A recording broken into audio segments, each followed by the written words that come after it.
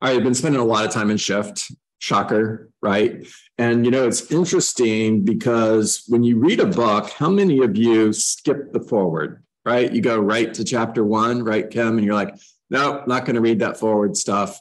And I think I probably did that as well. And I've gone back and I've read the foreword. Not, not only that, but I've read it, reread it, reread it, reread it. And I think it's one of my favorite parts of the book.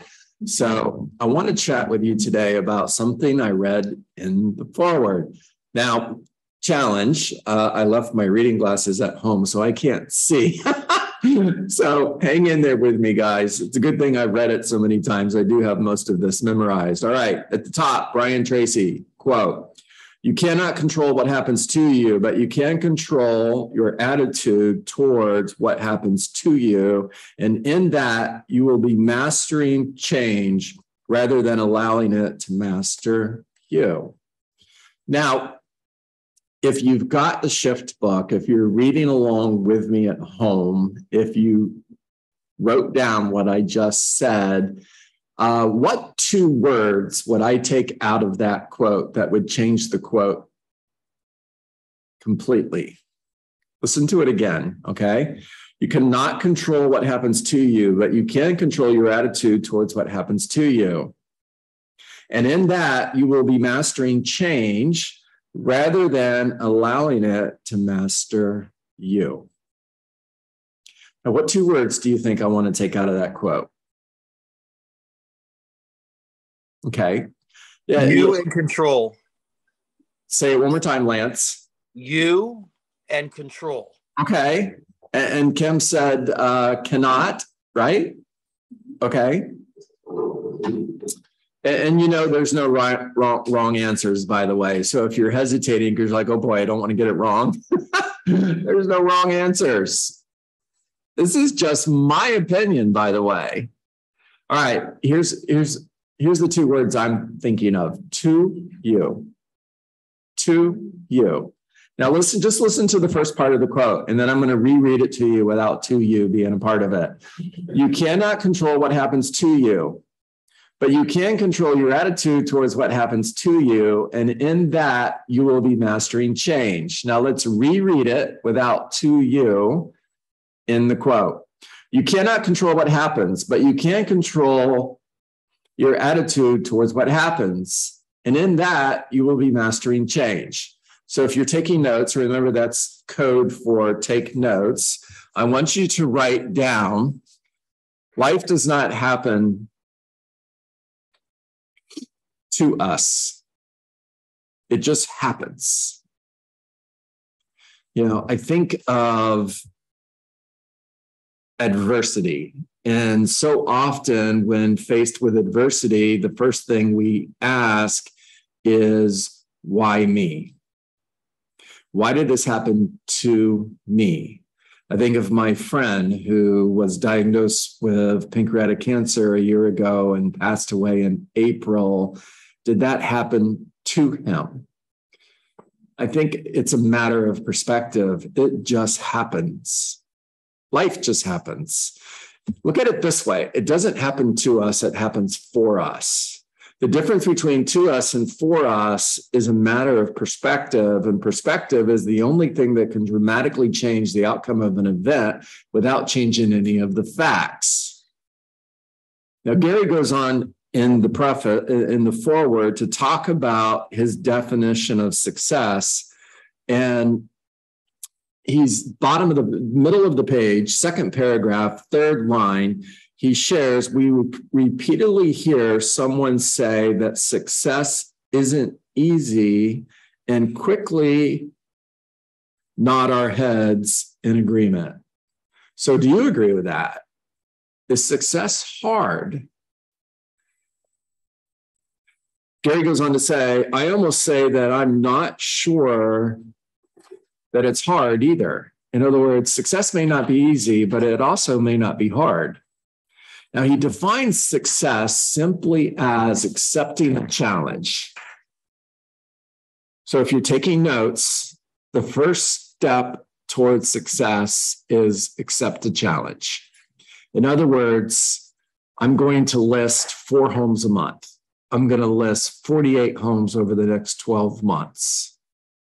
I'm going to sell uh, 60 homes in the next 12 months. I'm going to list four homes a month. I'm going to list 48 homes over the next 12 months, and I'm going to sell 60 homes in the next 12 months. That's a challenge, right, Kim?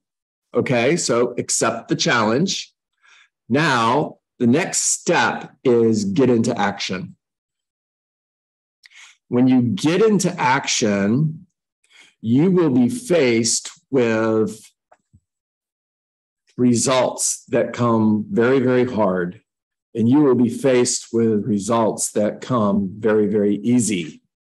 Now, I'll give you an example. Here's a challenge knock on 20 doors a day, right? Challenge accepted. Now you go out and you knock on 20 doors in 95 degree heat, it, and nobody is interested in selling their home. You don't get one new lead from knocking on those 20 doors. The only thing you gained by knocking on those 20 doors is you burned a lot of calories and you sweated off a lot of water weight. I mean, that's a good thing too. Yeah, for sure. Right? Us women, yes. Yeah. Okay. Now, hard. Would you agree with that? Success, the, the conversation we're having here is success easy or is it hard? I would define that as hard. You knocked on 20 doors, you got no results, hard. The next day, you go out and knock on 20 doors, and the very first person who opens their door is interested in listing their house, and they hire you. Easy. Now, you didn't do anything different than you did the day before. You did exactly the same thing. You took exactly the same actions. And one day it was hard, and the next day it was easy. So success can be hard and it can be easy. But in order for us to experience either one, what do we need to do first? Get into, get into, one person in the room knows the answer. Get into, Action. Action. what does action mean to you? Action.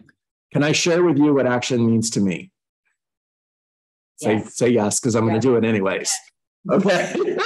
Thank you for that, Shirley.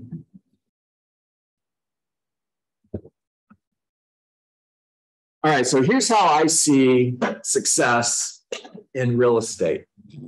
There's five things that make up your 20%. Those five things are lead generation, meeting with buyers and sellers, taking seller listings, writing offers, negoti- negotiating contracts, and practicing and role playing your scripts. In other words, Aaron, if I'm going to get into action every single day, my action is focused on lead generation, meeting with buyers and sellers, taking seller listings, writing offers and negotiating contracts, and practicing and role playing my scripts. And what's number one? It's lead generation. It's lead generation. Let me do this again. So there's five things. There's five things that that make up your 20%. The five things that you need to get in action with every single day. Number one, lead generation. Number two, meet with buyers and sellers. Number three, take seller listings. Number four, write offers and negotiate contracts. And number five, practice and role play your scripts. By the way, if you said practice and role play your scripts, I get it. I understand why you said it because we do that first thing in the morning before we get in lead generation. Okay, so you're off the hook. All right, now action. I'm going to work 50 weeks. I'm going to take two weeks off. That means I'm going to work five days a week for 50 weeks. I'm working 250 days.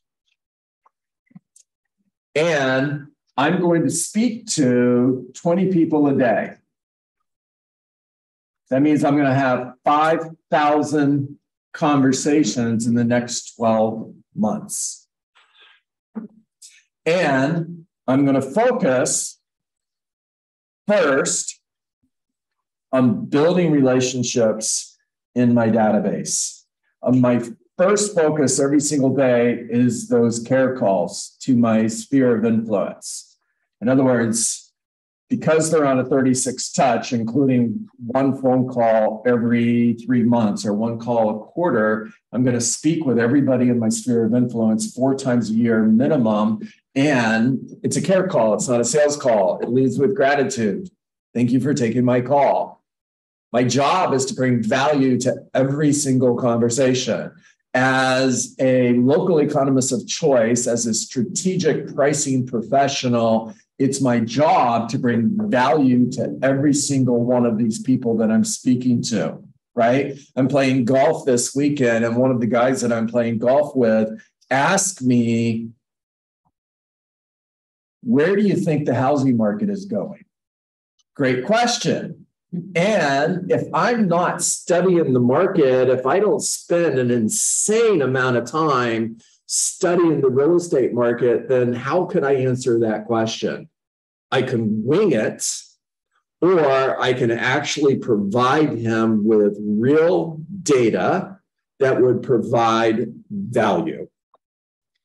By the way, it did the conversation ended with total stranger, by the way, with him asking me for my phone number because he wants to stay in touch with me because he's interested in selling his home. Shocker, right? Well, guess what? I don't sell real estate. I coach and train real estate agents. And what do you think I did? I got his contact information because just giving him my contact information doesn't count as a lead. It's a conversation, but it's not a lead. It's a lead when I ask him for his contact information. Hey, by the way, why don't you give me your phone number? Because I don't carry business cards with me and I'll send you my contact information. If you give me your address, I'll set you up on this really cool neighborhood nurture so you can keep an eye on what's going on in your neighborhood. And what's your email while we're talking? All right, that quick, that simple. I got name, phone number, email address, and mailing address, and then back to golf because I don't like to sell real estate on the golf course. All right, now I'm having conversations with my sphere of influence. I'm leading with gratitude. I'm bringing value to every conversation. And when you make enough deposits, you get to make a withdrawal, Juanita. In other words, hey, Juanita, just out of curiosity, who do you know that might be thinking of selling their home in the next six months? Make sure every single conversation includes you're making deposits first, and then you're asking, just out of curiosity, who do you know? All right, so part of my 20 conversations is to build relationship with my database. The other part of those 20 conversations is I'm building a pipeline. I'm calling for sell by owners. Especially today, I'm calling expired listings every single day. Hey, I noticed your listing came off the market and I'm just curious are you still interested in selling your home?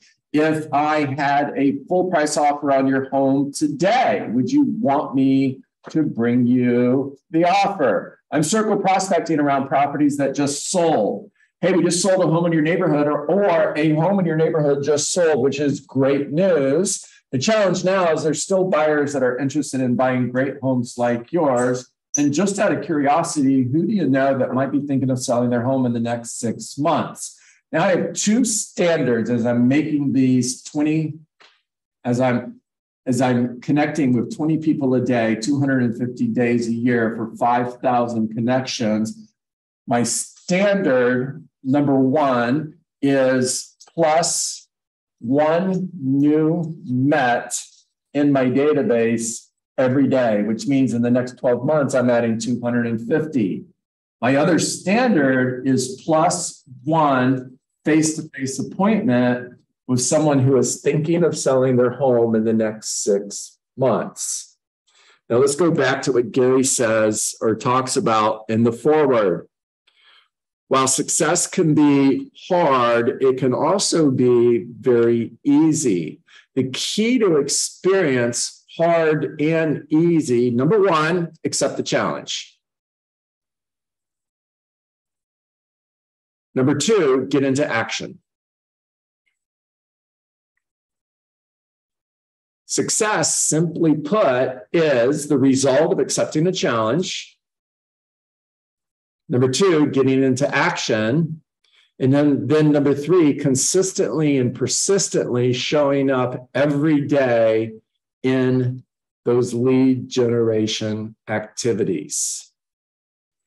Now, notice I haven't said anything about going on appointments. I haven't said anything about taking seller listings, writing offers, and negotiating contracts because lead generation is number one. Until lead generation is done, nothing else matters. Until lead generation is done, everything else is a distraction. So is everyone else. And when I'm having 20 conversations a day and I'm adding one new person to my database every single day, I'm building what? I'm building a big database. In MREA, Gary says that the size of your business is directly proportionate to the size of your database. Okay, if the size of my business is directly proportionate to the size of my bit to the to my database, and I want to have a big business, then what will I need?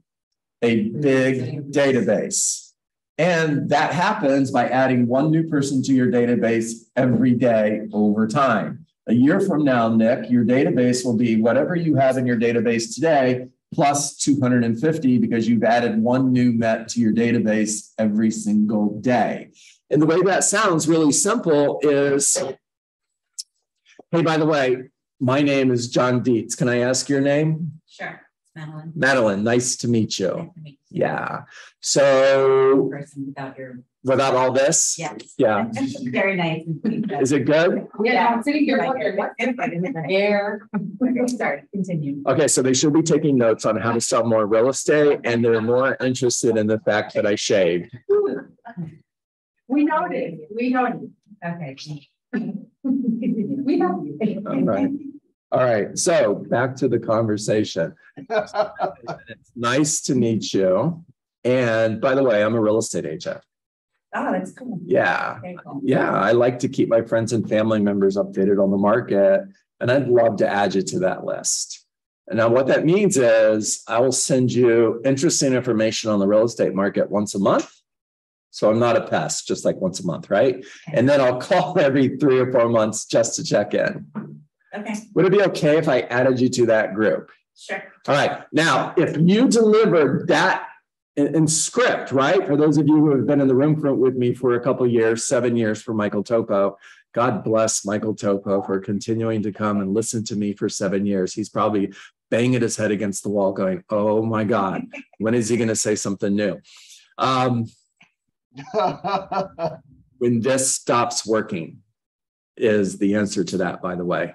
Okay, now when you show up every day and you're having those conversations just the way I did, because the laughs, the smiles, everything is the same as you've heard it a thousand times, right?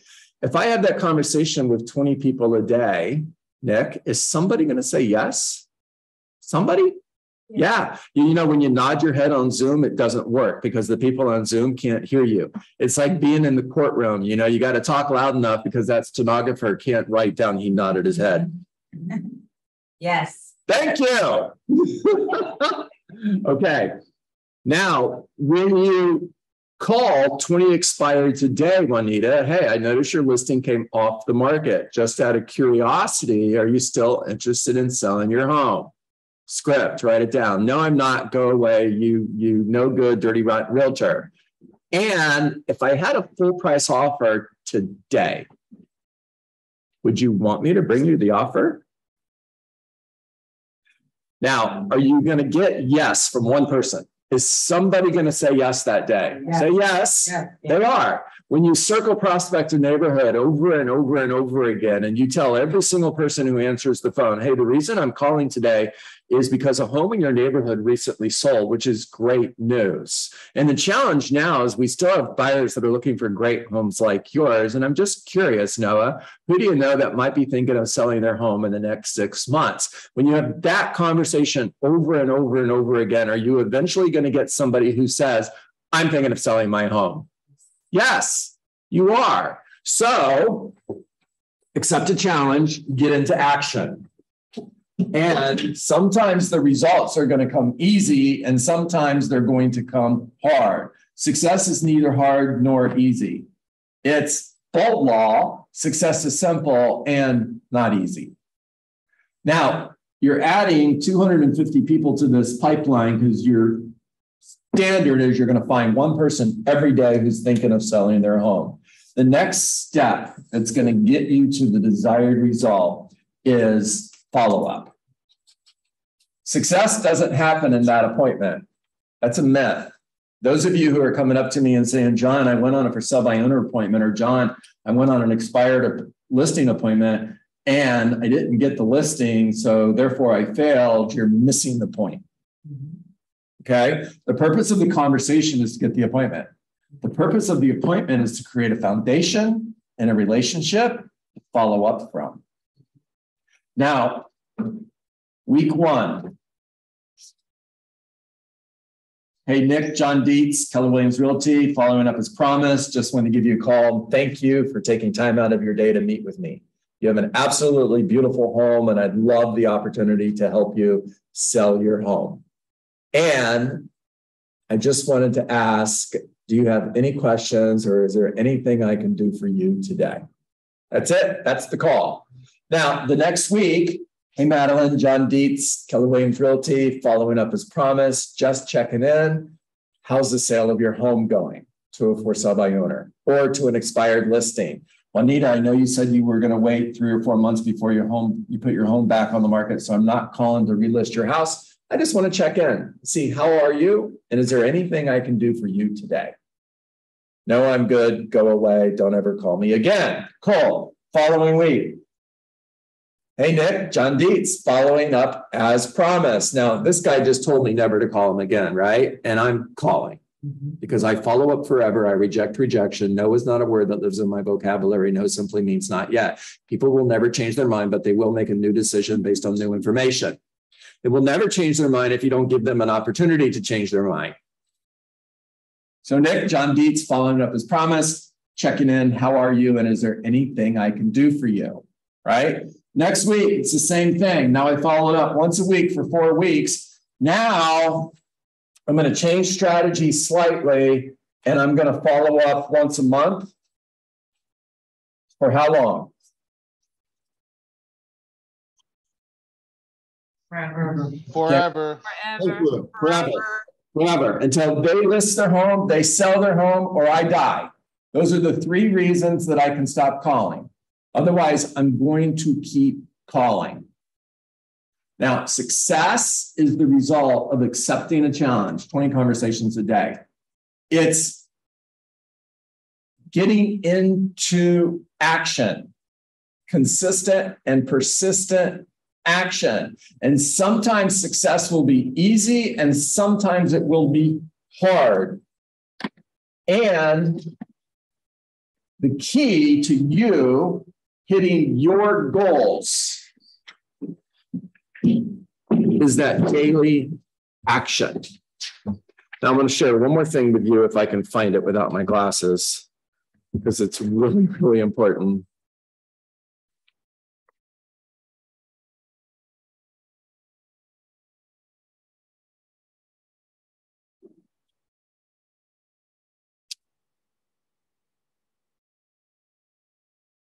Gary shares in the very last paragraph of the opening to the book.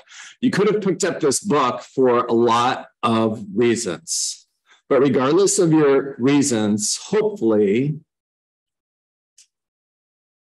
the outcomes you seek is to become the best you can professionally be in the real estate business by running with the best. Please write that down. Running with the best and doing what the best do. Running with the best and doing what the best do. If that's true, this book was written for you. So here's the question I want you to ask yourself Are you running with the best? And are you doing what the best do?